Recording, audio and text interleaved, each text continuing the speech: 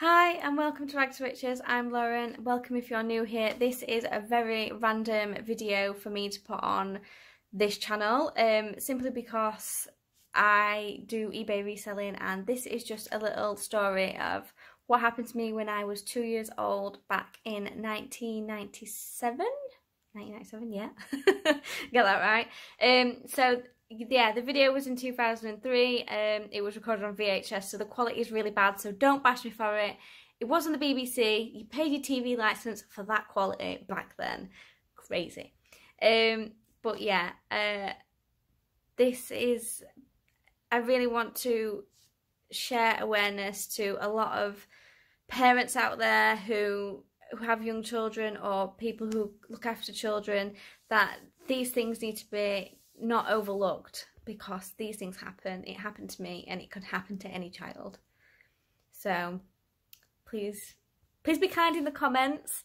Um, but yeah, I will be at the end of the video explaining a little bit more if you're a bit confused. But yeah, thanks for watching guys. Enjoy.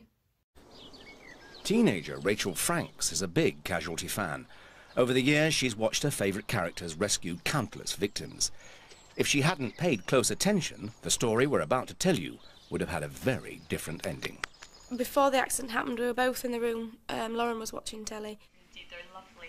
Now, who knows, with any luck, Winty and Milbury might Which one's that, Lauren? On that morning, I was uh, doing some ironing in the kitchen. It was about dinner time. Do you want something to eat? Yeah, no chocolate pudding.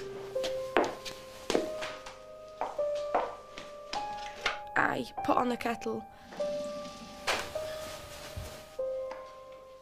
What do you want? I don't know, surprise me! Okay.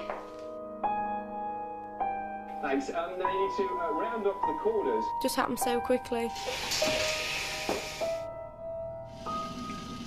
That's certain something. Just a total disbelief, really. I can feel it. It's coming.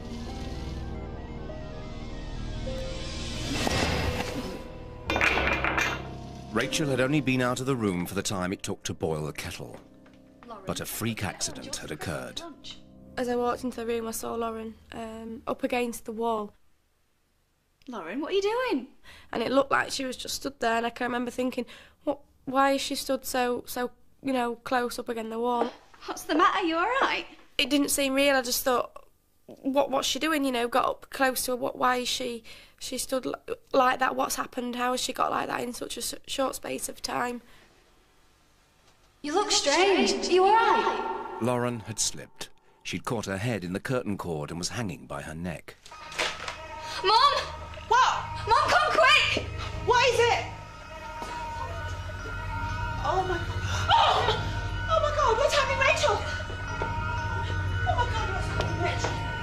think she's breathing. Mom, do something!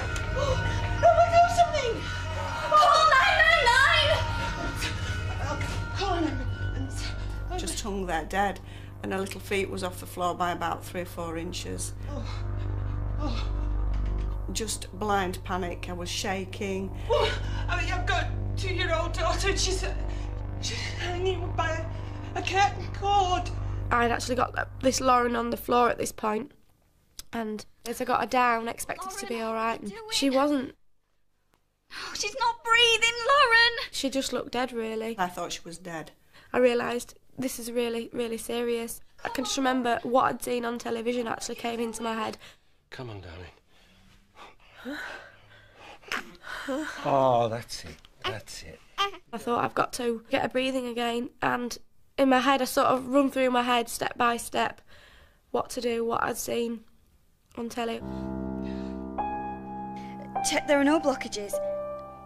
Tilt the head back to get a good airway. And I knew that with a small child, because Lauren was only like two years old, to cover both the, the nose and the mouth. Take a breath, not too big, and breathe gently.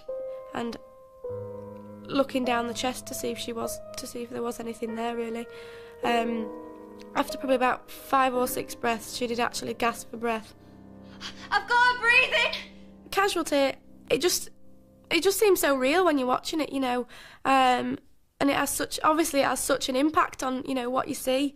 Obviously, it had an impact because I remembered things that I'd seen seen on on um, Casualty. Rachel did exactly the right thing for Lauren by doing the mouth-to-mouth ventilation with her mouth over both her nose and her mouth to prevent the air coming back down the nose. In adults, we get around that by pinching the nose and breathing just into the mouth, but in smaller children, it should be done exactly like she did.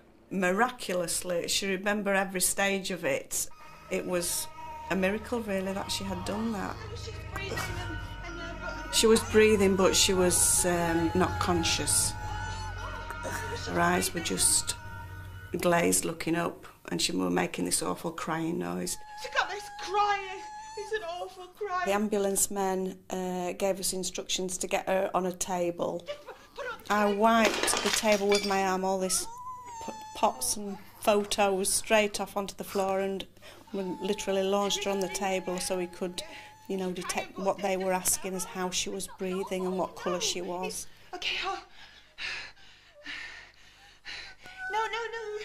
I don't- it's not right, is it? She was just wailing, a cry which I've never heard a kid cry like before. It was uh, disturbing.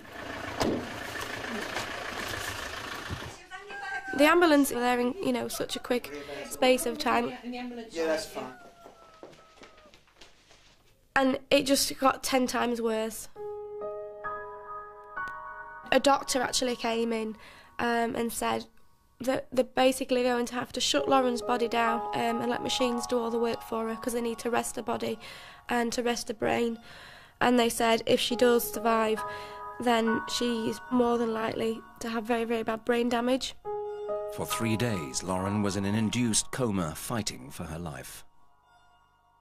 When she actually came fully conscious, it was actually on my birthday, which was probably the best birthday present you could ever have, really. I knew as soon as she woke up she was okay because she uh, she just hugged me and said "mummy," and that was like oh better than all the money in the world. Lauren's a really happy little child. She knows that I saved her life, and she can't remember because her body was shut down. But she does, in a, in her own little way, appreciate because she'll say, "You saved my life." She's just so sweet, so special. Laura owes her life to her big sister Rachel and to Casualty.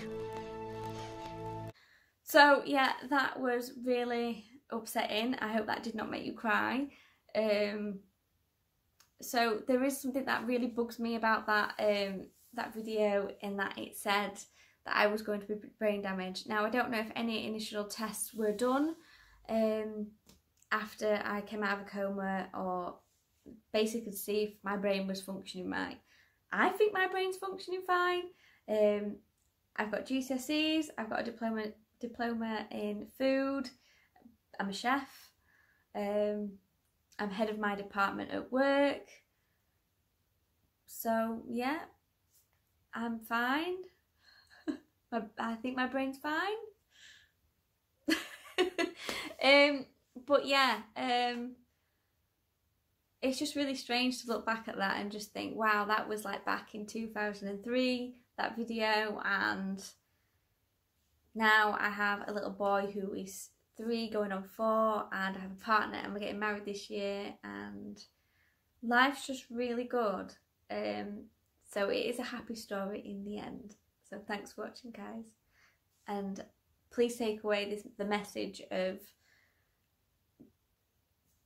putting putting fixtures on your curtain cords or getting rid of curtain cords because it is dangerous.